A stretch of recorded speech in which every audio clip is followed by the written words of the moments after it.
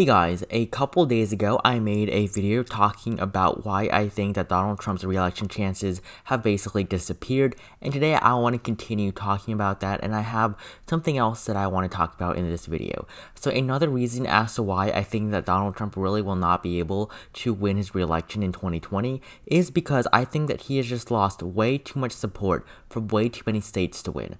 Honestly, I think that if you look at the 2016 results compared to the numbers that Trump is seeing in the polls right now, I honestly do not see a pathway to victory for him. Today, I just want to talk about some of these states and just looking at just how much worse he's doing now than he did in 2016. So first, I want to start off with the South. This is traditionally a very safe Republican area, with the exceptions of the states of Georgia, Florida, as well as now it seems that North Carolina is not too safe for the Republicans. But the states of Louisiana, Louisiana, Mississippi, and Alabama were all safe for the president in 2016. He carried the state of Louisiana by 19%, Mississippi by 18%, and Alabama by a whole 28% over Hillary Clinton in 2016. And now, if we were to take a look at Trump's numbers in 2020 against Joe Biden, he leads by 11.5% in Louisiana, 12.6% in Mississippi, and only 18.9% in Alabama. He has basically lost around 7 to 12 points in all of these states. And the only states that are now solid for Donald Trump out of these three solid states in 2016 is the state of Alabama. And right now, I'm just going to say that in the entire southern region here, Alabama is going to be the only solid state. Moving over to the state of Georgia, this is a state that he won by 5%. He now leads in this state by 1.4%. So that is a tilt state for Donald Trump. A state that was a lean state is now a tilt state. Another sign of decline for Trump, a state that he won with a tilt margin in 2016, the state of Florida, he won by 1.2% over Clinton. Now Joe Biden leads in this state by 2.1%. So this is now a lean state in favor of Joe Biden from a tilt state in favor of Donald Trump. The state of South Carolina, 9 electoral votes, another state that was pretty safe for Joe Biden, only 0.7 away from reaching that 15% margin. This was a state that the president carried by 14.3% four years ago.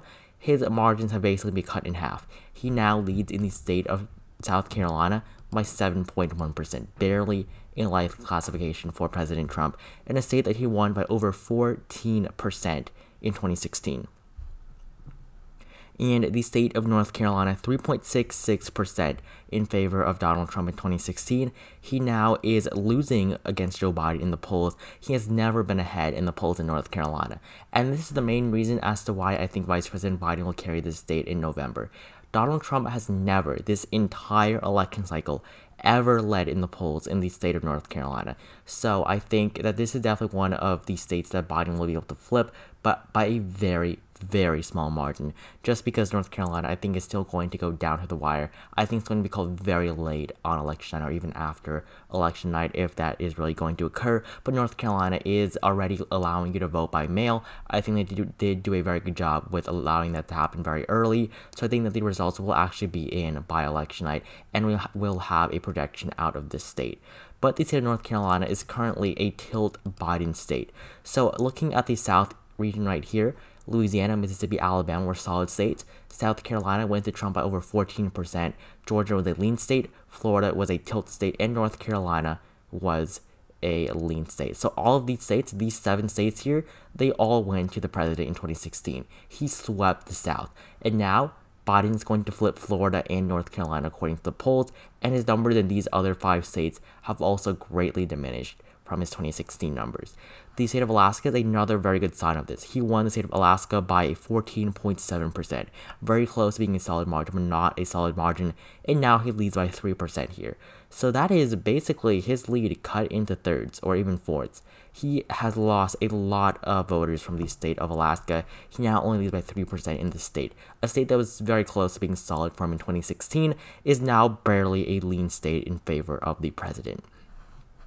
So why I'm talking about all of this is just to take a look at just the amount of voters that Trump is losing compared to his 2016 um, voter turnout numbers. So I think that with this type of just loss in interest from voters, I think that he is not going to win the election. I think that if he's going to lose this much of a percentage of the American electorate, I don't think he can win the election. Personally, I think that Joe Biden is going to do very well in some states. In North Carolina, Florida, he does not even need these states. If Trump carries these states, it's not going to be the end of the world for Joe Biden. These are some of these states that Biden is leading by the smallest of margins. So he doesn't even need these states. He should still focus on them just in case. But these are not states that are too important for Joe Biden, but will definitely run up his electoral vote count. The state of Kansas, I want to talk about next. I want to move in, uh, move on into the center of the country, I guess. The state of Kansas, Donald Trump carried the state very solid from 20.6% in favor of Donald Trump in 2016, and now his lead has basically been cut in half. He leads by 9.5%. The state of Kansas, this is literally the center of the country, and this is probably one of the most rural states in the entire country. Really, the population of Kansas is not too large, very rural, very conservative, but now Kansas does not seem to be as safe for the GOP as it was just a couple of years ago. The state of Missouri is another very good example of this. Trump won this state by 18.6%, so this was solid in 2016. Now it's a lean state. Trump is only leading in this state by a margin of 6.9%. The state of Texas as well, this is another very good sign of decline for the president. He won the state by 9% in 2016, which wasn't even good for a Republican. Mitt Romney won the state by 16%, John McCain even won it by 12%.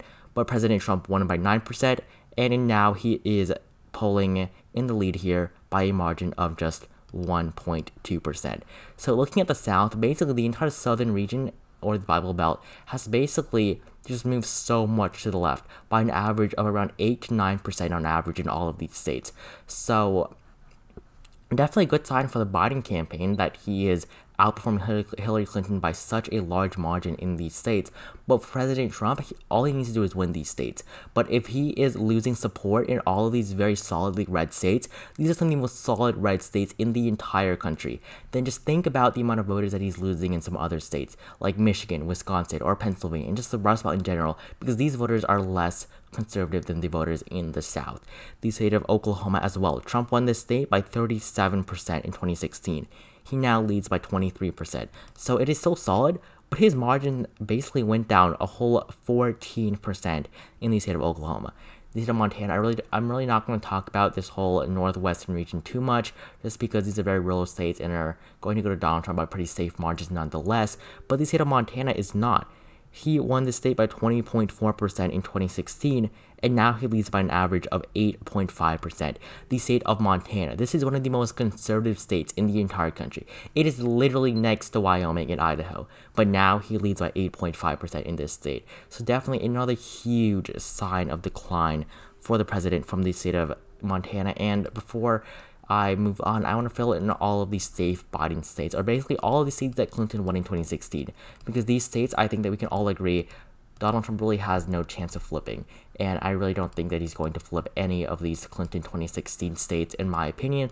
So I'm just going to put them all into the safe Biden column right now because I think that these states are safe for the president. And I did mess up somewhere. He shouldn't be up at 266. But, oh, um, North Carolina and Florida, that puts him at up at 266. But these rest of these states, they do put up Joe Biden at 232 electoral votes, along with the states of North Carolina and Florida, which is why he is at 276 electoral votes right now. So moving on, the state of Kentucky, 29.4% margin for Donald Trump in 2016 he now leads by 18.6%. So still a solid state, but he lost 11% of his voters in the state of Kentucky. The state of Tennessee as well. He won the state by 26%. He now leads by 12.4%. So this state went from being very solidly red for Donald Trump in 2016 to now being a likely state for the president. I'm not going to talk about the state of Arkansas. There's only been one pullout. Trump leads by 2% here. I don't think that's right, but I don't want to talk about just because there's only been one poll, and I think it's almost definitely not too correct. The state of Iowa, I want to take a look at the Rust Belt next. This is probably the most important region, and honestly, I think it's going to be this region that puts either Joe Biden or Donald Trump over 270. I'm actually just going to put North Carolina, Florida in the toss-up section for just a moment here. Donald Trump does, I mean, Joe Biden does have 232 electoral votes from all the Clinton states from 2016, and again, if he wins these three states, he will cross 270 electoral votes without winning any other state. So North Carolina, I'm going to put back into the Biden column as well as the state of Florida. So starting off, taking a look at the Rust Belt, Iowa right now, six electoral votes went to Trump by 9.4% in 2016. He now leads by 1.8%. So this is actually a sign of, I mean, not decline, but increase for Donald Trump in the state of Iowa. He was actually down in the polls here in midsummer, but now his numbers do seem to come back up. It is now a more of a solid tilt margin, I guess. He leads by 1.8%. Not good for him, but uh, still 1.8%. He is leading much more consistently than he was over the summer the state of Minnesota, Donald Trump lost the state by 1.5% to Hillary Clinton. In 2016, Trump did very well in the Rust Belt. In 2016, he won Wisconsin, Michigan, Pennsylvania, Ohio, Indiana, and not Illinois. Illinois is a very solid Democratic state, but he was also able to win Iowa. So he did very well in the Rust Belt in 2016, but now it seems that this is not going to occur in 2020. In the state of Iowa, he leads he leads by a tilt margin. I'm sorry, I really can't talk too well today. I apologize for that. But Minnesota, he lost by 1.5%. He is now down 8.8% in favor of Joe Biden. This is literally a likely state for Joe Biden right now, the state of Minnesota. Uh, these other margins I'm really not going to worry too much about, but just Minnesota because we're talking about this state. So the state of Wisconsin is next. Trump carried the state by 0.8%, Michigan he carried by 0.2%, and Pennsylvania he carried by 0.7%. If he carry these three states by less than 1%, and he's losing around 8 to 12% of his voters from 2016 in the Deep South, the safest conservative region in the entire country, one of the safest regions next to the Midwest here. I think that if he is losing so many voters from these states down in the South, I think he's going to lose even more from the Rust Belt because these states, they are less conservative. They are traditionally Democratic states. These are the three states that make the blue wall Wisconsin, Michigan, and Pennsylvania. These states have not gone to a GOP candidate for over 20 years before Trump carried it in 2016. So these voters have a much larger chance of flipping for Joe Biden than the voters in the South. And many of the voters in the South are already changing their vote from 2016. So this is one of the main reasons. These are the only three states that Biden needs. And he is doing very well here. In Michigan, he leads by 7.7% or Michigan. In Pennsylvania, um, not Pennsylvania, um, the state of Wisconsin, he leads by 6.7%. In the state of Pennsylvania, he leads by 4.8%. So his numbers in Pennsylvania aren't actually as good as they were midsummer. They have definitely declined for the vice president, but still a very good sign for him that he's still doing pretty well here in the state of Pennsylvania compared to Hillary Clinton from 2016. The state of Ohio, Trump won by 8.1%. Joe Biden is now down 1.5%. So it's going to be a tilt Republican state. But still, if we take a look at this, it is still much worse for Trump than the numbers he saw in 2016. As well as the state of Indiana. Right now, Trump won this state by 19.2% four years ago. He's now leading by 14.4%. So not even a solid margin in the state in which his vice presidential candidate or vice president right now is from.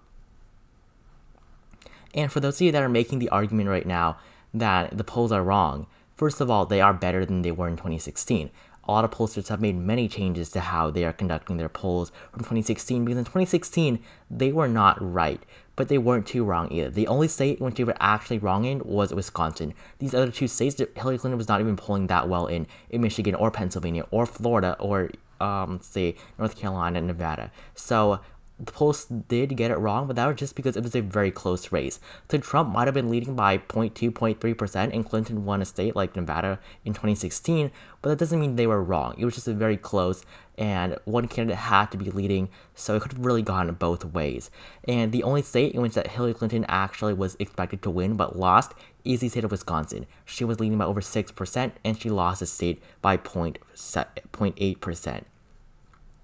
So really the only state that was wrong was Wisconsin. Every other state was within the margin of error. So that's just why you really can't say that all these polls were that wrong. And even if the polls were wrong, I really don't think so. That I really don't think that's the case.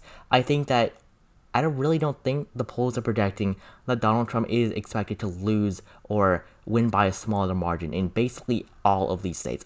Basically every single state that we have covered today, Donald Trump's lead is expected to decrease. I think that there is no way that all of these polls are wrong, showing that Donald Trump is expected to win by a smaller margin.